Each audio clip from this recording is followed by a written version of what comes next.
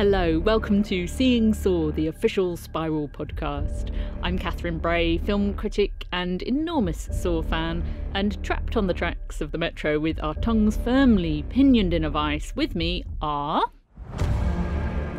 Anna Bogutskaya. I'm a writer, occasional film critic, co founder of the feminist horror film collective The Final Girls, and Jigsaw Mourner. Charlie Shackleton, documentary filmmaker, sometime film critic, and film scholar dedicated solely to studying the great text that is Saw 4.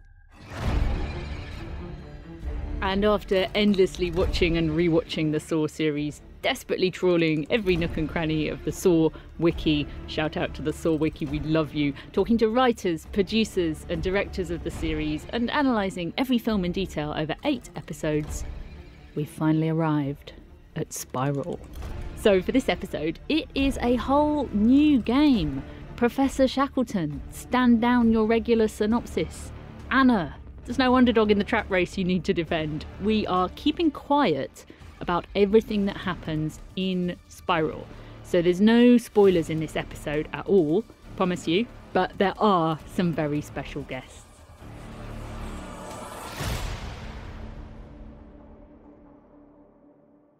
But before we talk to our very, very, very special guests, what can we say? Spiral, We've got Chris Rock. Chris Rock is the driving force of Spiral, which is my favorite fact about this revival of the Saw franchise. The fact that Chris Rock, who I've always loved as a comedian, turns out to be a Saw fan. It's the greatest reveal, the greatest twist. It's the greatest twist of the entire franchise. I cannot get over it. the pig head is pulled off, and who's there but beloved comedian Chris Rock? We also, with this entry in the franchise, finally have it confirmed that there is a so called book of Saw. Did you write it? It had always been my suspicion that these stories were coming from some sort of ancient tome. and now we have that. That's canonical. I don't know. I mean, if I'm not a big fan of reading, can I get the audiobook of Saw? Is that available? No, it's not so. what do you think we've been doing for the last four weeks? We've been creating the audiobook of Saw. And Darren Lynn Bousman is back. That's also extremely exciting. Director of Saws 2, 3, 4, and now Spiral. He's he's your mate, Charlie, isn't he? You interviewed him. We are Bezies, yeah, and he is perhaps my favourite Saw director from all of the previous entries, being responsible for 2, 3, and 4. Is he the greatest sauteur? Because I think if you do Spiral and 2, 3, and 4, you've got quite a good claim to fame. I mean, Hackl, he's done five and also production designed almost all of them. And then Kevin Greutert, I think, also absolutely strong claim to the crown there, having edited almost all of them and then directed two of them. I think Bousman, he, uh, sorry, Darren to me. Uh. I think what's interesting about him is he spans the different eras of Saw. So he was obviously did two and three, which very much kind of established the form and they're all about the characters and the emotional arcs of the films. He also did four, which for me is the definitive, incredibly lore heavy saw that sort of set the mold for those later films, which are also labyrinthine and overlapping.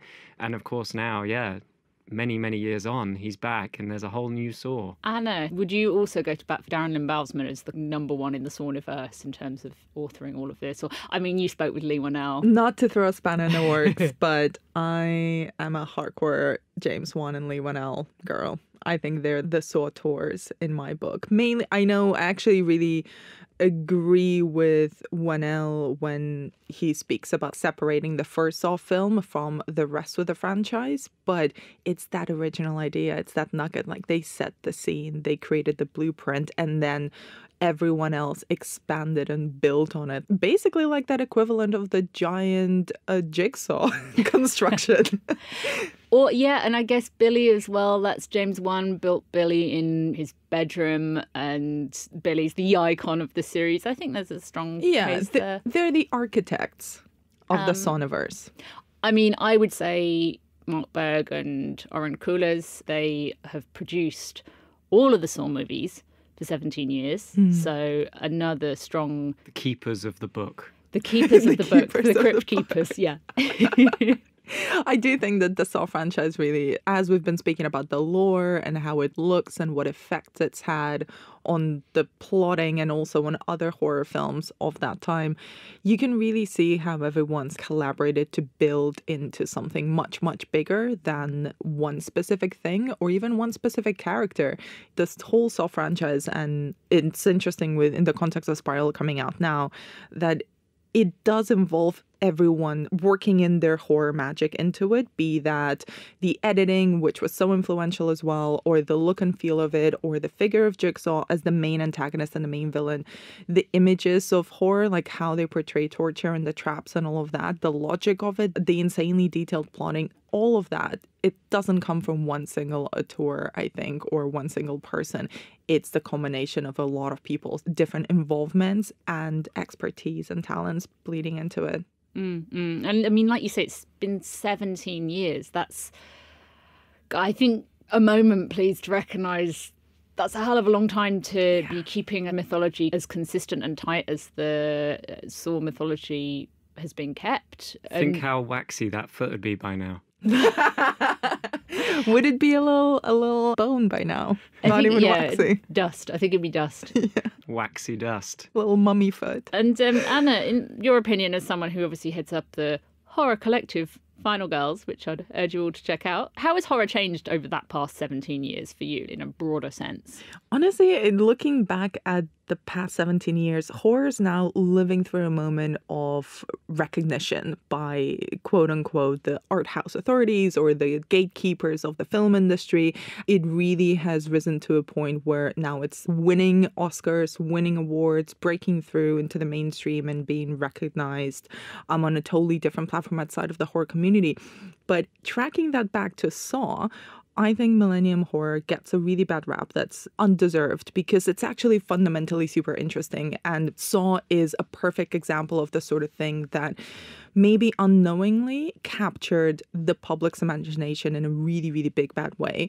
And it's interesting that a lot of people peg it as torture porn, but if you look at it, torture porn was always a lot more about the aesthetic as opposed to the content because as we've discussed in the first episode, the first Saw film, which came out in, in 2004, does not actually have that much torture in it, but it did set the blueprint for a certain look and feel. And all of the films that came out immediately after that, like the Hostel franchise, House of Wax, The Devil's Rejects, Wolf Creek, The Descent, all the way down to The Human Centipede, which came out in 2009, a way back. But they all get lumped in together. But let's think about the context in which these films came out, right? It was also an era of extreme political turbulence where people were concerned with inhumane treatment of prisoners in places like Guantanamo. So it's not completely out of the realm of understanding that filmmakers and horror filmmakers in particular were also using that to put that on screen. But there was also a big moment of international horror thriving both Japanese horror and J horror becoming much more well known in the Western world through remake culture. And specifically, this started with Gore Verbinski's The Ring remake of Ringu. But then there's also an influx of extreme horror from Europe, a foreign language horror that was also influencing each other. So you have Saw as the pinnacle of horror franchises that's going all the way through the 2000s and through the late 2000s.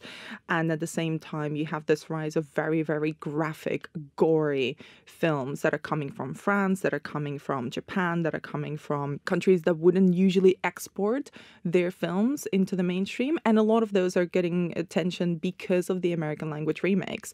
But what's another interesting thing is I think Saw was instrumental in igniting online horror fandom to the degree of getting extremely nitty gritty about the plotting, about the characters, about the interconnectivity of all the films. There's because of the extreme gore of the films, of the horror films of the 2000s, and of people coming of age in the era of the internet, there's a lot of a culture of reading synopses on wikis and reading about horror films as opposed to actually watching them first. So you create a blueprint in your mind of what the gore would look like without actually watching it, which I think is really telling of the way that we remember the first Saw film. We remember a lot of gore, but actually, when you watch it, It's not that gory. At the same time, all of that came around the time when the old school horror was dying out, like the waning of the teen horror franchises of the 90s. So when you think about all of the new, brand new original horror films and franchises that were starting in the 2000s, Saw being the most important one of them, it's all aimed at adults which is one of the interesting things about this era. It's not strictly going into that slasher teenagers and hot young girls being murdered and chased around suburban neighborhoods. It's very cynical. It's very cynical. It's very grimy and bleak.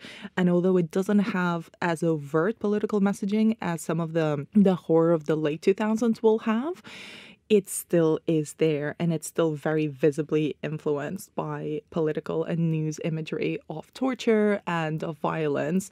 And it's translating that into genre as well. So, Saw alongside, I'd argue, the influx and the export of foreign language horror in the mid 2000s created an extremely gore focused era for horror filmmaking. And the challenge of those films was never really to scare, it was always to gross out and to push extremes.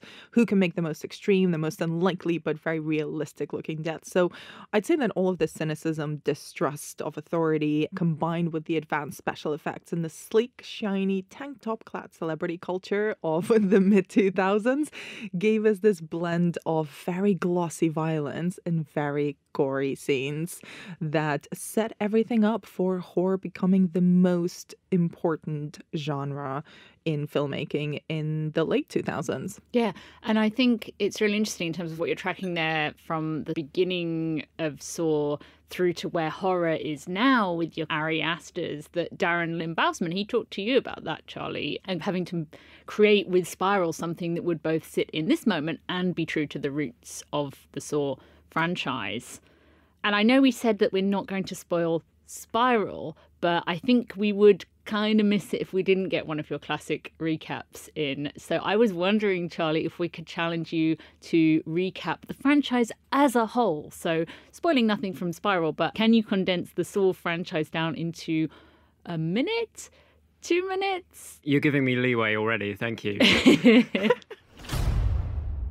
So uh, we'll do a quick little potted recap of all of the events that we've covered in the, the previous eight episodes just to, you know, give people a good footing. So, an aging man with a soul patch named John Kramer goes in for a brain x ray but has his results mixed up with those of another man, delaying his diagnosis of a frontal lobe tumour. The trauma of this, combined with an earlier miscarriage suffered by his wife Jill Tuck, and his subsequent denial of insurance coverage for an experimental Norwegian gene therapy, leads him to attempt suicide by driving off a cliff. Having survived, he decides to teach others the value of their own lives by placing them in excruciating torture traps and is soon dubbed by the media the Jigsaw Killer. With a bevy of assistants by his side, there's medical examiner Logan Nelson, Detective Mark Hoffman, recovering addict Amanda Young, oncologist Dr. Lawrence Gordon, and the aforementioned Jill Tuck, his ex wife. He built an untold number of traps, beginning with a rickety old chair with some knives taped to it, and then moving swiftly on to quite an immensely elaborate multimedia experience in the old Tuck family pig farm before progressing on to the rest of the traps that we know and love, as well as one inadvisable foray into children's television gunging with the unfortunately universally derided pig vat. the authorities, meanwhile, mount a lengthy, evolving investigation into the case, led by various departments and warring agencies. Several officers become, quote, obsessed, we're told, with Jigsaw in a vaguely defined sense, and or the subject of one of his traps.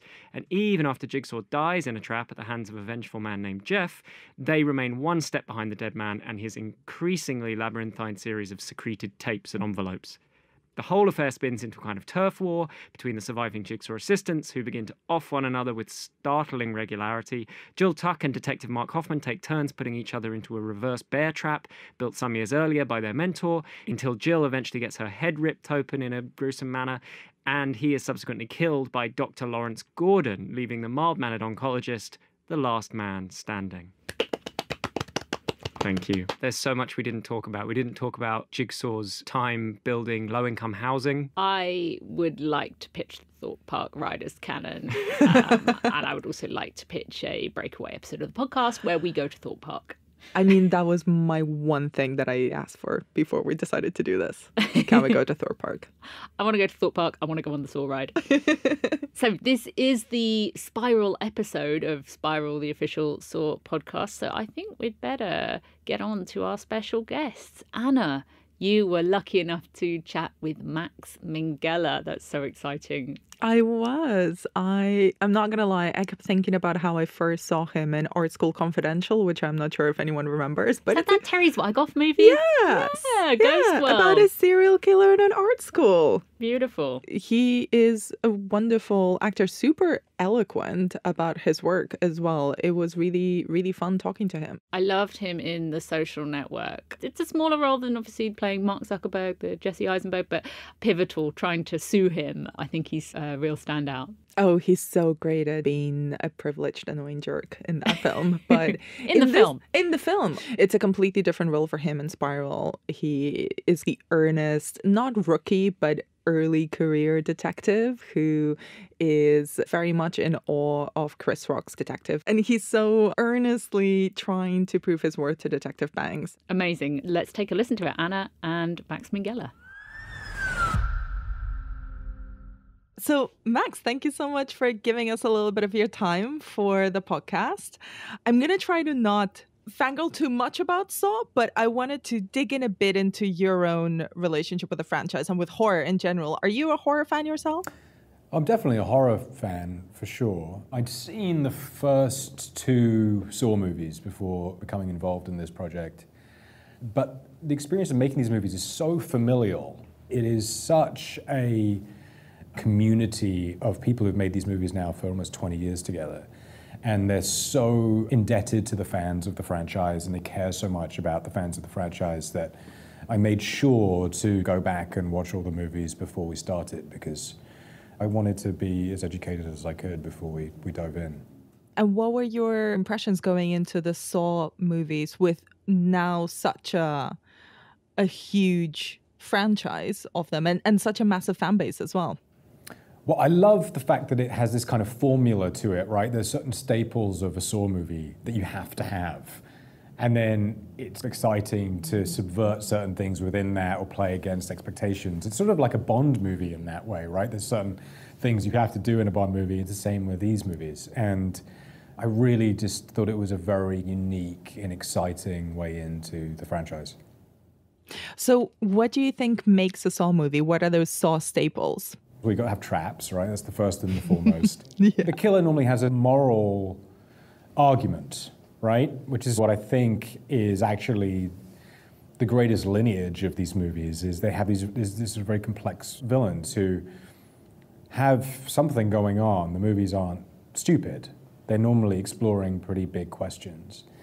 And then they also have a very unique editing style. I don't think I've seen other movies that look and feel the way that the Saw movies do. They kind of move at this sort of hyper accelerated pace and they almost play with the continuity of time, even within a scene sometimes. And it has a great theme song.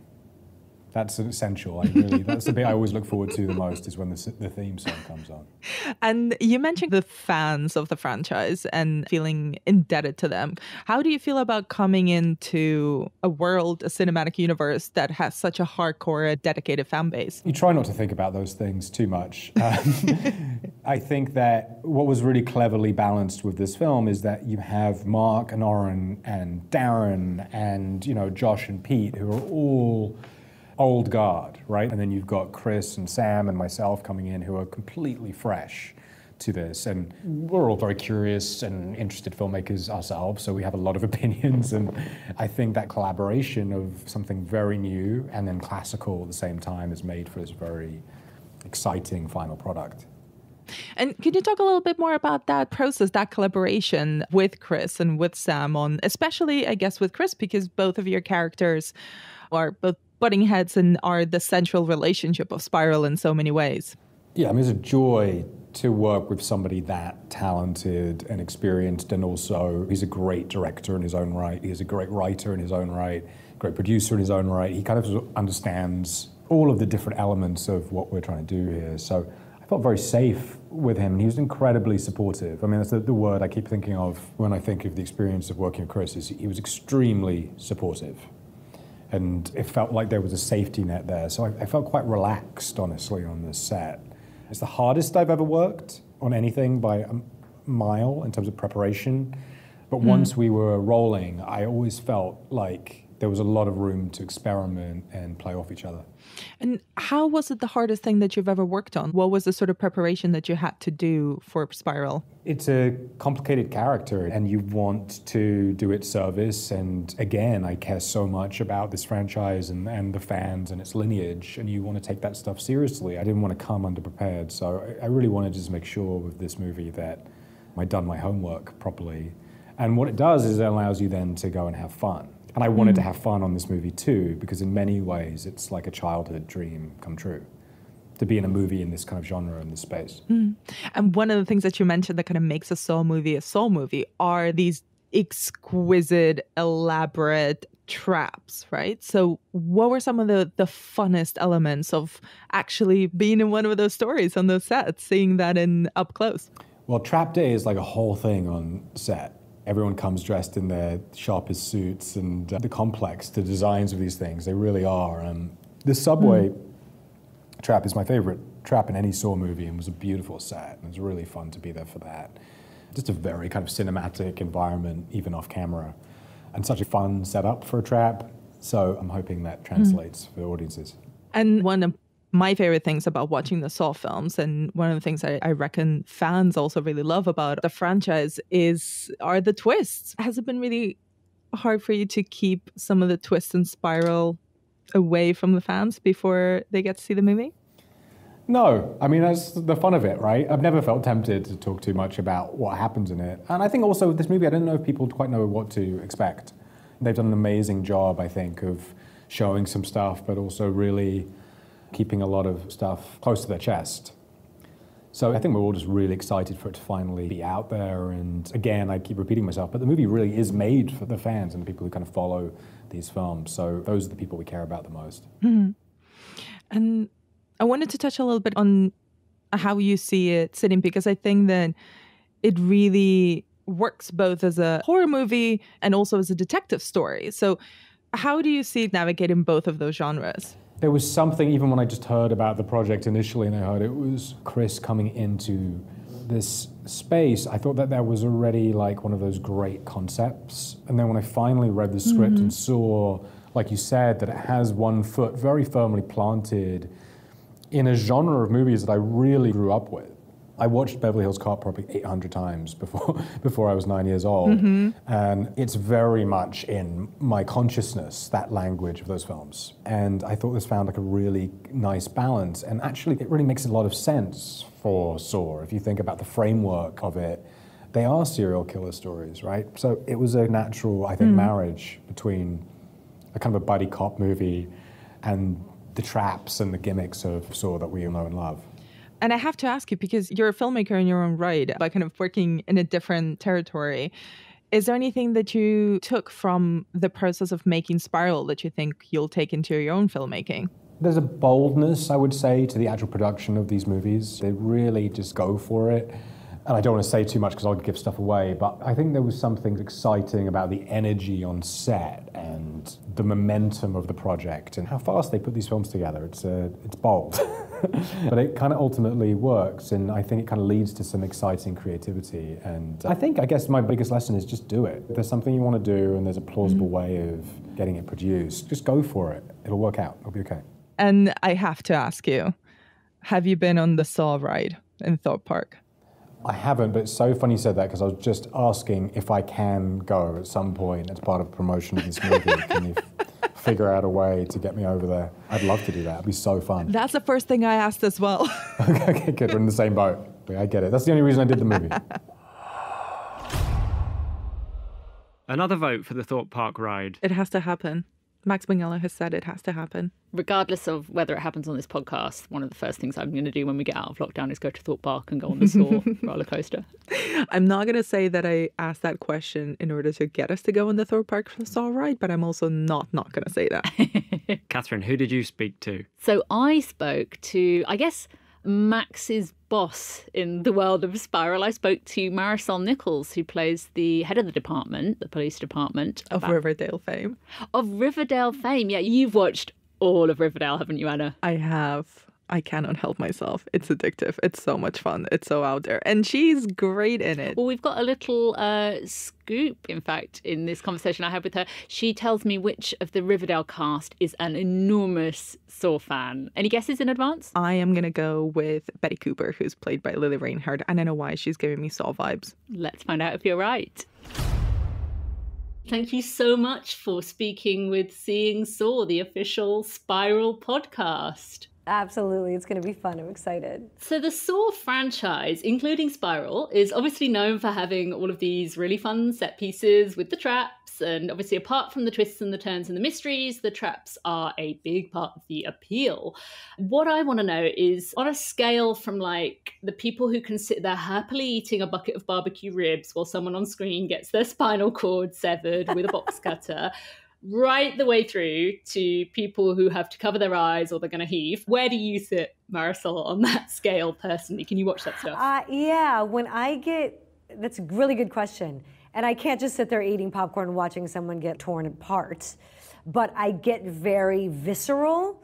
And instead of like hiding my eyes, I get more mad. Like, no, no, no, come on. Like, I get very vocal and visceral about it. So are you shouting out like, "No, go over there. It's that door." All of the suggestions. No, it's more like I'll hit whatever friend I'm with. Literally, my friends know this about me. Like if, if something's crazy or exciting or scary or freaky, I'm like, "Stop! Stop! Stop! Stop!" Like I do more like that. I can't wait to get back to cinemas so that we've got that mass experience with audiences. It's going to be so cool with this film, Spiral in particular. I'm so excited it's releasing in theaters.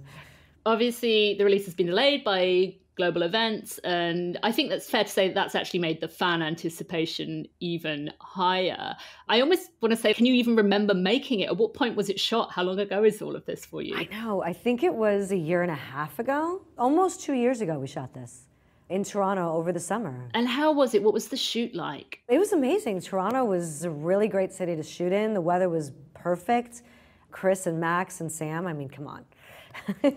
Oh, we had so much fun on set, and it was really great getting to know Chris. He's hilarious, and also to see him working in such a serious role. I had a great, great time. It was really probably one of the more comfortable and really creative sets that I've been on in a long time. It was great. Now, I watched an interview with you where you were saying that you're terrified of heights. Yes, can't stand them. Without getting into too many spoilers, obviously, because people may hear this before they get to watch Spiral. Does Spiral tap into any particular phobias or fears of yours? I mean, oh, yeah, for sure. I can't be specific about it, but as an actor, when you're doing certain things, you're putting yourself in that situation. So putting myself in that situation, it's a, it's a little freaky. It's a little freaky, for sure. Like, I think I was on set like a super fan and taking pictures of the traps and stuff like that, which was really, really cool. But then you just wonder, like, that's gotta hurt.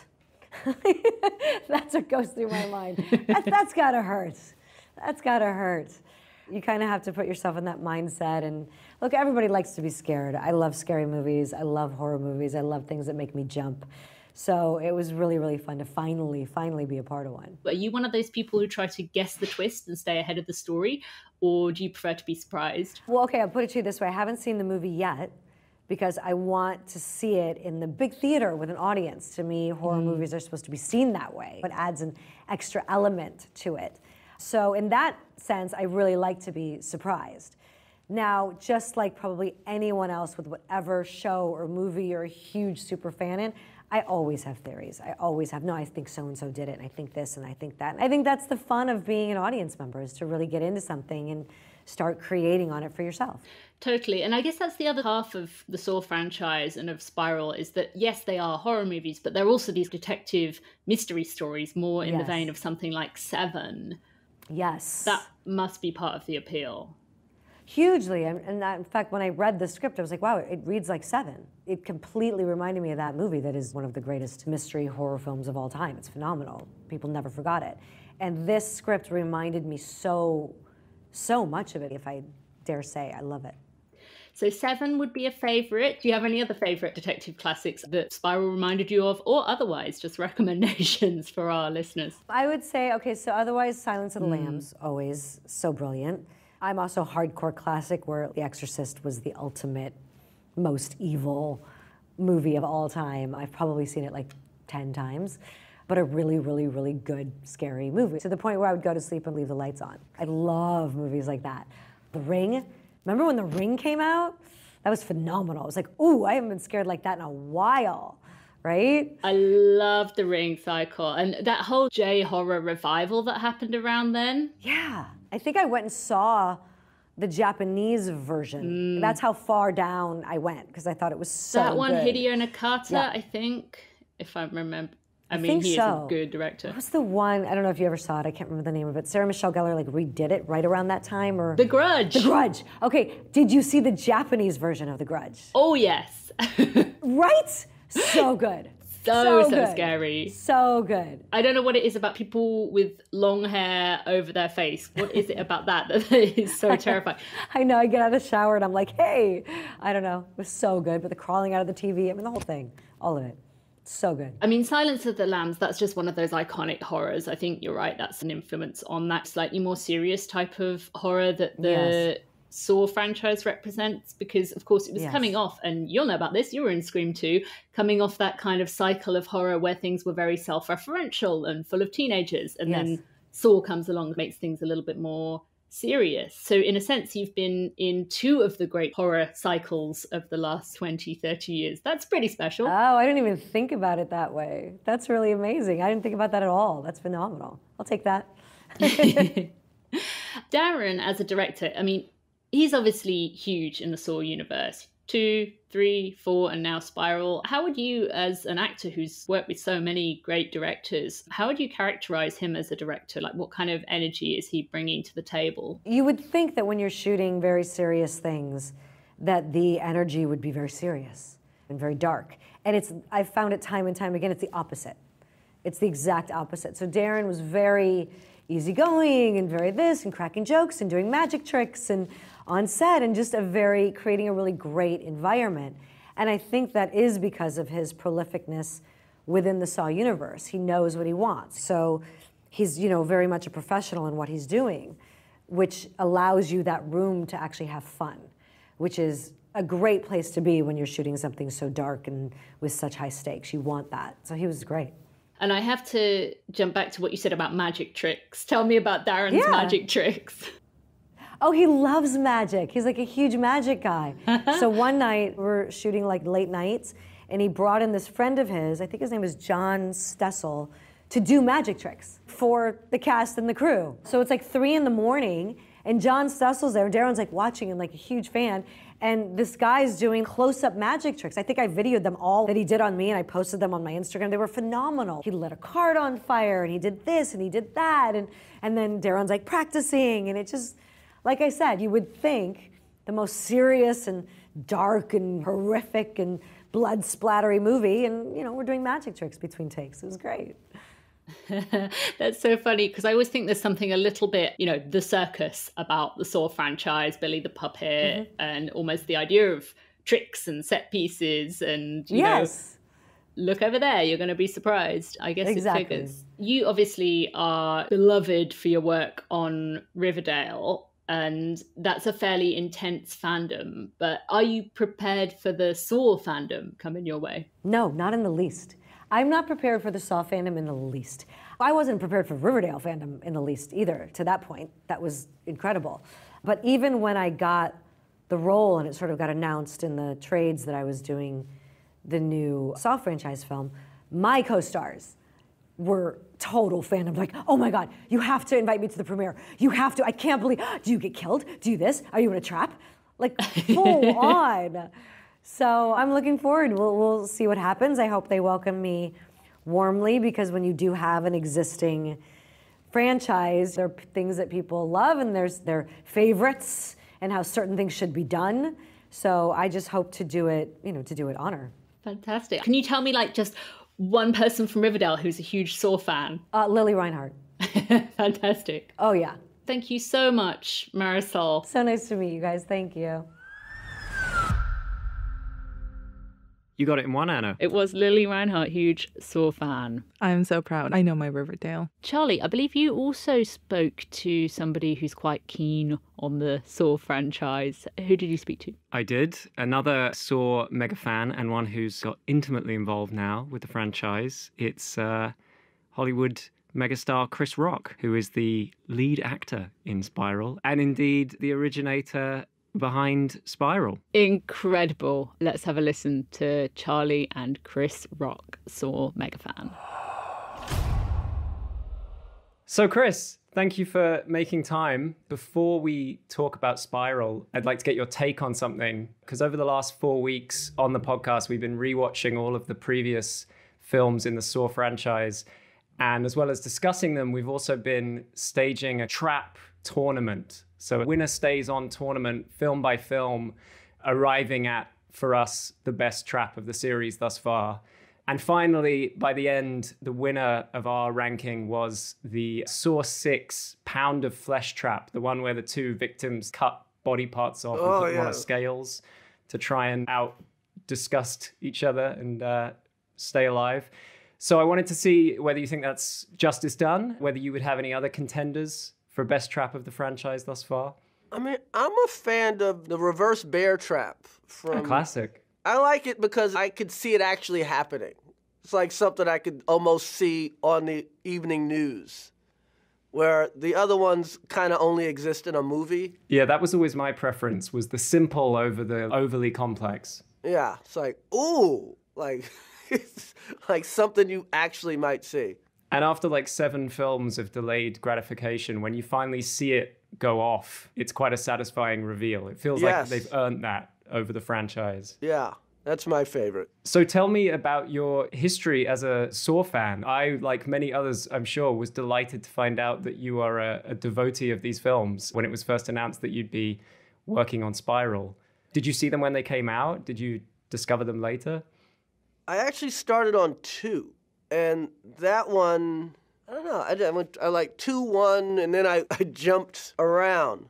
You could kind of guess what was going on in one. And when I went to one, it wasn't like there were any revelations from that and two. You know, I mean, like it wasn't that hard, honestly. I remember liking Wahlberg's performance.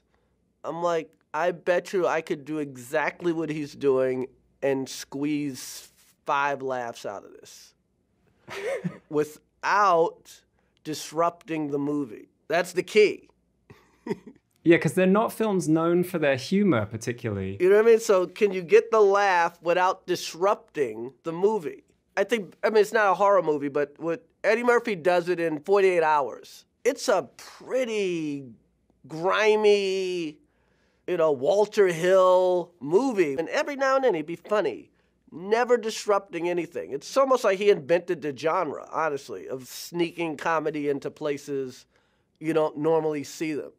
You don't normally have comedy. So yeah, I don't know. I, uh, I how I got into the Saw movies. You know, it's like any good artist. If you like two Prince albums, it's like okay, I might as well get number three. You're just on this train at this point. So I'm on the Saw train. I'm a completionist. So, from the first experience, you imagined making one. You're saying that was your reaction to two. From the first experience, I imagined it. And then sometimes you just have an idea and you just put it in your back pocket. So then 20 years later, I'm face to face with the head of Lionsgate at a wedding and I make this suggestion. You know, I'm like, oh, Lionsgate, what does Lionsgate make? Okay. Mm, let's see. Hunger Games, nothing in there for me. Hey, how about Saw? I got this idea that what if you put a little comedy in there? And he heard me. So, that was the germ of the idea. You know I mean? Sometimes you pitch stuff or you say something, especially in a crowded room, and people are just nodding. But uh, he actually heard me. And next thing I know, about three weeks later, there's a meeting at Lionsgate. and they're very serious about making uh, Saw with a little comedy. And here we are. And obviously, it's been a while since. And what's really nice about this is, I mean, it feels to me, although it's somewhat of a new approach to these films, it really has that same grimy saw tone that some of those earlier entries in the franchise had, which I guess came partly from working with Darren Lynn Bousman. Yeah, I mean, we also talked a lot about. I wanted it to work if you never saw any of the other movies. That was important to me. I was even campaigning to bring some of the traps back, a select couple. Just It wouldn't be the first time. yeah, so it was very important to make it feel like a new experience. You know, like Creed. You know, I mean? like technically Creed is Rocky Seven, but it kind of works if you never saw Rocky. And I guess it operates on that level where the kind of elements of the franchise that have entered just the popular consciousness. I think even people who haven't seen a single Saw film have some sense of that tone that you're talking about, the fact that there are these traps, what the killer's general modus operandi is, but not, as you say, the kind of labyrinthine plotting of exactly what Detective Mark Hoffman was up to in the middle of Saw 5. Yeah, I mean, there's so many things that happened in Saw that people have taken and put in other movies. It just it works if you never saw any of the other movies. Did you always want to be in it? You weren't just dropping this idea? Because when I first read the story that you had had this idea for a new Saw film and that you wouldn't necessarily be in for the long haul, but of course here you are starring in the film and giving over a. No, no, this was always for me to be in. It was always. I mean, here's the other thing too. I, with the exception of Lethal Weapon 4, I haven't played a cop. I haven't starred as a cop in anything, and it's almost a rite of passage, especially black comic. You got Eddie Murphy and Chris Tucker's played a cop, and Martin Lawrence played a cop, and Kevin Hart's played a cop, and Jamie Foxx has played. You know what I mean? Like everybody plays this cop thing. So I kind of wanted to play a cop, but I wanted it to be in a different genre than everybody else, and I think I got my wish. Yeah, I mean that is how I describe the Saw franchise to people who haven't seen any of them is as like a hybrid horror franchise and police procedural because Yeah. the majority of them are. Yeah, it's like a bloody Law and Order. And obviously, you assembled quite a cast for this film, a lot of big names relative to the prior entries. But here we've got Sam Jackson, Max Minghella. How did you go about assembling your fellow cops? I took less money. hey, how about I take less money so we can get better people? How's that? A little bit of that. But uh, you'd be surprised. A lot of people are fans of Saw, man. And people jumped at it. I mean, hey, Max and Sam were definitely the first choices, but we got a lot of calls from a lot of people definitely wanted to play. This is what I love about it is that, you know, that story you were telling about the wedding, that's my experience as a longtime Saw fan, is that it's those sorts of environments. You don't have much to talk about with people. It's not usually the head of Lionsgate, it'll just be some random person. But you get onto a subject like this, and when you find someone who is a fan of these films, it somehow feels surprising. They're so strange in some ways, but obviously they're massive. And so it only follows that there would be millions of fans out there. But it's very good to know that the Hollywood A list is just as littered with them as uh, the London E list. Is there a London E list? Yeah, I'm on it. Who's on? You're on the E list? Man, Yeah, I'm one of the hosts of Seeing Saw, the official Spiral podcast. cool. So, lastly, before I let you go, there are obviously already stories afoot about a potential Saw 10, Saw X. Could you imagine yourself continuing on in the franchise, or is that for other people to take the reins? Uh, you know what? If they want me, I would love to do it. I had a ball. I love this world. I love. I, I just love because right now what's happening is a lot of people are seeing the movie that would probably wouldn't have seen it otherwise. So you're getting like this fresh perspective. You're like, whoa, I had no idea. I like fresh new things. I would love to do it again. So Chris Rock, reverse bear trap fan. He's kind of gone against Jigsaw's trap race, our own ranking of the traps from previous episodes. I guess he's allowed to do that. He's he's Chris Rock. He's allowed to do anything. He is Chris Rock. I'm very. I'm glad that now we know what's his favorite saw trap. And to be fair to him, I did wonder whether we gave the reverse bear trap slightly short shrift because it is so iconic. It's on a poster, it's in the first film, it pops up again later throughout the franchise, and it's the demise of Jill Tuck finally happens thanks to the reverse bear trap. I think it kind of lost out in our rankings because it's just sort of always around. So it didn't have the flashy showiness of a pig vat. Uh, I'm not gonna lie. In my heart, I was hoping Chris Rock would go for the pig vat. As if. Instead, we got old reliable bear trap. It's actually maybe it's nice to have a callback to It's the classic. the classic traps. It's classy and classic. I can't believe we've got to the end of our journey through the Saw films. Guys, I'm a little bit sad. Well, there's nothing to stop us just rewatching them every week in our own time from now on. I mean, obviously we're going to do that, but I won't get to talk about it with you guys. That's true. That is true. Unfortunate. We've taken on board Jigsaw's teachings. We've worked together as a team. And we've avoided the pitfalls that Mark Hoffman and Amanda Young and Lawrence Gordon and Jill Tuck fell into. We haven't ended up scrapping and putting each other in traps, even though I know Charlie wanted to for that brief period where the pig vat was staying on top in trap race. Oh, Charlie would after have week. 100% thrown us into the pig vat if he could. Would you have used the pig vat in order to There would be a delicious irony. Yeah. yeah, yeah. Or were you so above the pig vat that you would refuse to use it even? Or it would hurt me to use it, but I think I would for the irony points. Very fair. And thank you, Catherine, for leading us on this journey. It's been a team effort, Charlie, a team effort. And I will miss the recaps and I will miss. Anna, can you just come round and give me horror context for my life on a weekly basis? Always can do. I do this for my bestest of friends. the deep send- knowledge. Send you random. I will. You know what I'll miss the most? It's Catherine's patented trivia traps. Guys, if we were in a room and had to connect three clamps together to form an electrical current to open a door, I would hold hands with the two of you rather than smashing a clamp into either of your heads. That's so sweet. And of course, the biggest thanks of all to all of our listeners for coming with us on this journey through the pages of the Book of Saw. Spiral from the Book of Saw is in cinemas now. Seeing Saw is a Little Dot Studios production for Lionsgate. The show is hosted by Catherine Bray, Anna Bogutskaya, and Charlie Shackleton. It is produced by Jake Cunningham and Harold McShiel with production support from Ellie Aitken. And we are edited by Content is Queen.